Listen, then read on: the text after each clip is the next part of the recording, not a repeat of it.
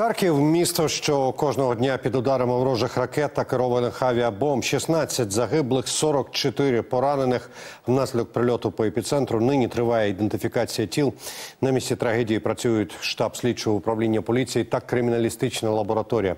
Буквально 10 хвилин тому місцеві повідомляли про нові вибухи у місті і більше про оперативну ситуацію в місті і області. Розпитаю в Олега Синігубова, голови Харківської обласної військової адміністрації. Пане Олеже, вітаю вас. Я вас вітаю. Пане Олеже, оскільки Росія обстрілює Харківщину постійно, постійно з'являється нова інформація. Зокрема, на жаль, відомості про загиблих і постраждалих. Ви повідомляли, що вже 16 убитих. Яка на тепер ситуація в області? 16 убитих я маю на увазі в епіцентрі. Ну відповідно почну спочатку із епіцентру. Тут робота триває. Працює наш штаб. Дійсно, люди приходять цілими сім'ями, здають відповідно зразки ДНК для того, щоб ідентифікувати своїх близьких. Можливо, у нас ще наразі так дійсно ідентифіковано поки що 14 тіл. А ще знайшли, скажімо так. Е, фрагменти двох тіл, однак е, після вже експертизи ДНК там буде зрозуміло, чи це ще дві нові жертви фактично удару терористів. Крім того, наразі серед е, загиблих це 12-річна дівчинка та її мати. Наразі рахується офіційно безвісти зниклими ще 8 осіб. Що стосується завалів, то зараз працівники ДСНС розібрали е, приблизно і проаналізували 30%. Звичайно, що роботу ускладнюють постійні сигнали повітряної тривоги. Ми маємо призупиняти роботу, оскільки ворог дійсно демонструє фактично можливість повторних ударів по цьому місцю. Це вже було неодноразово у місті Харкові. Е, він на меті має так само знищити і наші праці і наших працівників ДСНС, екстрені служби тощо на місці. Так само працюють психологи для надання фактично допомоги, тому що люди дійсно перебувають у шоковому стані. Ворог поряд із цим е, не полишає обстріли наших прикордонних населених пунктів. Знову населені пункти Харківського, Чугуївського, Богодухівського району району. Так само зараз наніс удар по населеному пункту Борова.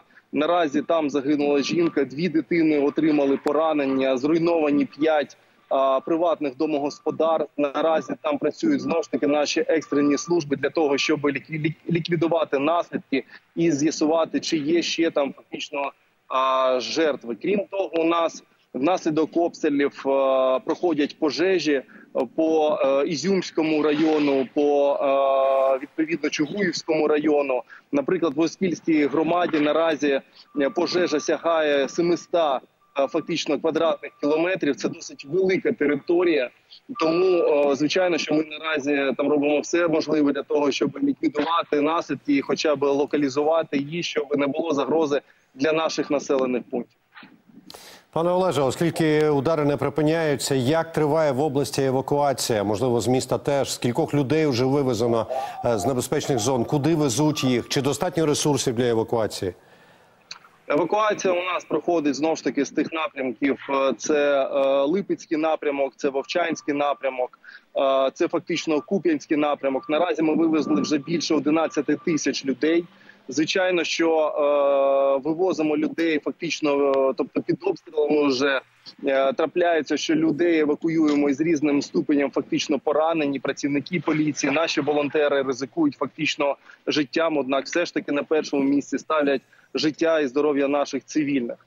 Е, евакуація продовжується. Працюють телефони гарячої лінії обласної військової адміністрації. Працюють лінія 102, Е, куди люди фактично і звертаються для того, щоб зробити заявку про там евакуацію. По Вовчанську так само у нас приблизно залишається ще у місті 50 людей. Наразі лінія фронту там стабілізована. Вона проходить фактично по річці Вовча. Наші збройні сили намагаються всіляко відсунути фактично.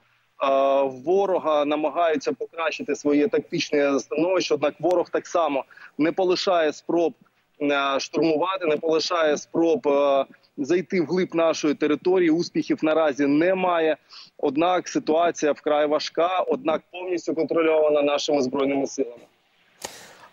У четвер е, Олена Шаповал, речниця Харківської обласної військової адміністрації, повідомила, що оскільки Росія масово атакує регіон на території Харкової області, практично не залишилося безпечних місць. Чи означає це, що евакуація, ну я не знаю, має бути масштабною, по-перше, ну і по-друге, де можливо примусовою? Ну, дивіться, щодо примусової евакуації, ми прийняли таке рішення щодо дітей, щодо дітей, які мають статус дитини-сироти або дитини позбавлена фактично батьківського там пік піклування. Це наша пряма відповідальність.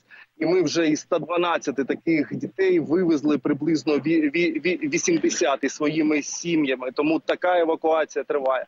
Щодо евакуації по місту Харкову, наразі, незважаючи на таку важку і ситуацію, і по обстрілах, і все інше, у нас підстав оголошувати обов'язково або примусову евакуацію з міста Харкова наразі немає. Так, люди, перелякані, однак все одно вони вірять у в успіх наших відповідно збройних сил. Тим більше, що лінія фронту наразі стабільна. Пане Олеже, я вам дуже дякую за вашу роботу і за той час, який ви нам приділили. Я бачу, що ви знаходитеся поблизу епіцентру. Не ризикуйте, будь ласка, бажаю здоров'я. Це Олег Сенігубов, голова Харківської обласної військової адміністрації, був у нас на зв'язку. Дякую.